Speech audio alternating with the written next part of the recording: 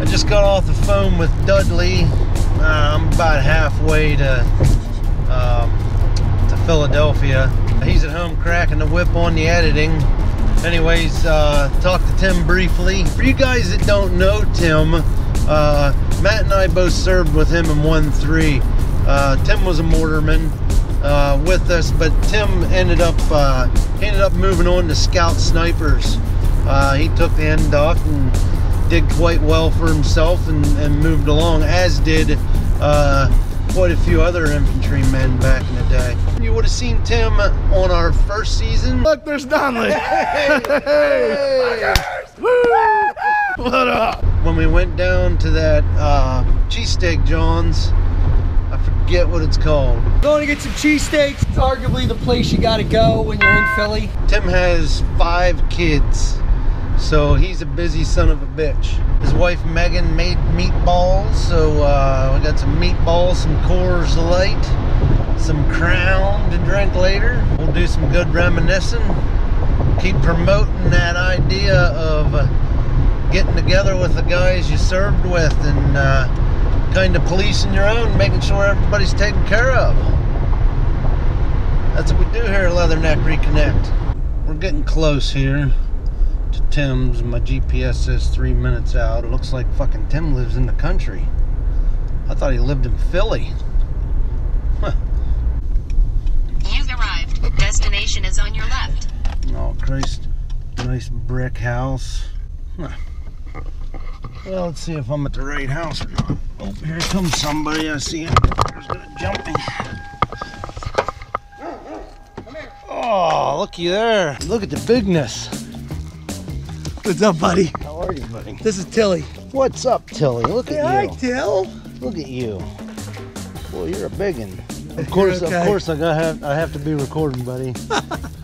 Well, brother, good to see you. Good seeing you, man. How you doing? Good, good. Real Come good. on in. You see Uncle Mike? This is Uncle Mike. Daddy served with him. Why, in the Marine hello. Can you say hi? Give Hi. him five, Drew. Now Hi, give him a Drew. pound. Drew, give him a pound. That a boy. That a Molly, boy. can you give him at least a high five? You know how many Molly. years Daddy lived with this guy? Like three. A lot. Yeah, as many as Drew's been alive. Where's mom? You shut this or leave it open? You can leave it open. We have to do our cheers, buddy. Semper Fi. Leatherneck Reconnect. Mm-hmm. So it's not bad. At least tastes like beer. Does it? Yeah.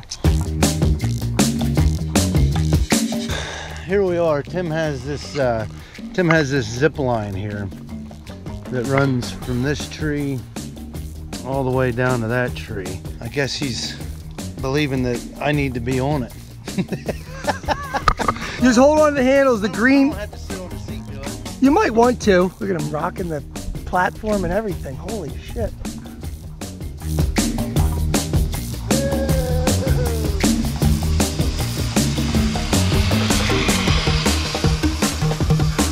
Now hold on when you get off. Climb down slow, otherwise that thing will kick you right in the face. Oh yeah, see how that can get Nice work. in the grill. Not bad. This is the, the family fun zone here at the Donnelly house. That's great. Want to take it back up and you ride it or what? I'm good. I think the way that I've always seen Leatherneck Reconnect is a way to join the brotherhood that we experience in the Marine Corps to help the other Marines that we know that have finished their time in, in service to let them know that that esprit de corps doesn't stop from the day we leave the corps till the day we die. You're always going to have Marines that are your brothers that are going to be there for you.